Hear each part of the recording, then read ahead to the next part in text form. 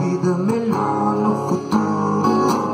Eu vejo isso por cima de um muro de hipocrisia que insiste em odiar. Eu vejo a vida mais clara e farta, repleta de toda satisfação.